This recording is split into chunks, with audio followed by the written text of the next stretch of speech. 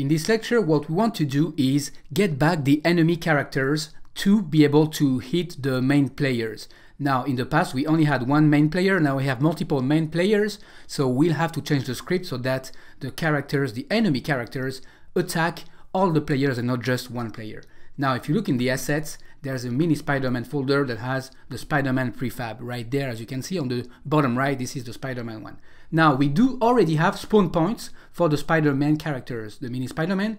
We have four of them. Right now, I'm just going to enable one of them. So I'm going to click on enable the spawn points in the inspector and disable the, the, the three other ones. I don't need them for now. So I disable this one, disable this one and this one. So I just have the spawn point prefab.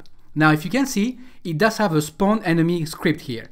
And that's great because it's already using the spawn enemy script. So we're going to open it and make the modification to actually get to spawn the, um, the character.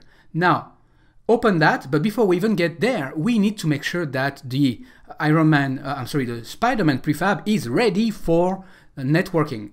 All right, so select the Spider-Man character, look inside of the mini Spider-Man, you see the Spider-Man prefab, drag and drop it inside of your hierarchy. The reason why we're doing this is that we want to also synchronize the animator. So let's go ahead and work on that. First of all, let's add the uh, type, the, the network stuff that we want for the Spider-Man. Click on add component and locate the network identity. If you don't put the network identity, then there is no way to synchronize it from the server to all the clients. So add that. Once you have the network identity, do not select server only or local player authority. No, because you want it to be on all the machines. So it's going to be very similar than what we did earlier for the fireballs, the regular one and the fireballs blue. All right. Now that you have that, we also want to synchronize the uh, position and rotation. So add component, network, and look for network transform. There it is. And for the transform, put the max for the network transform. Um, it's not performance wise, it's using a, a lot of uh, resources, but that's okay right now. We just want to make sure that it's following it on the server and the client. And then um, one more uh, one more network identity one more network component to add locate for the network animator all right the reason why we want a network animator is because we want to synchronize all the animations such as the idle mode the walk the hit and the death so now this is looking for an animator so click on the target and select the spider-man prefab from the from the assets or actually from the scene right here all right and then select the death, the attack, and the idle. So make sure you select all those checkboxes.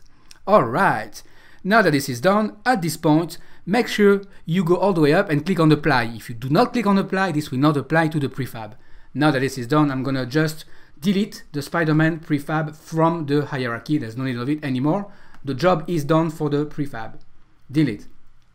Alright, so at this point, we have all the setup to get the first spawn point to spawn uh, the, um, the, the, the mini Spider-Man. But now we need to create the script and that's what we're going to be doing in the next lecture.